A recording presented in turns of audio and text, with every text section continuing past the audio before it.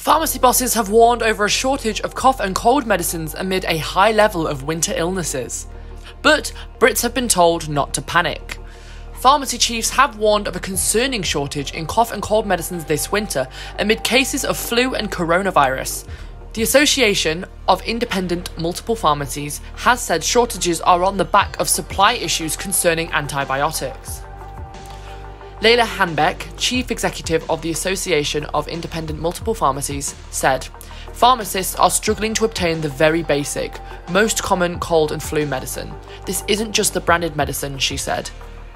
It is also things like throat lozenges, cough mixtures, or painkillers, particularly the ones that are soluble.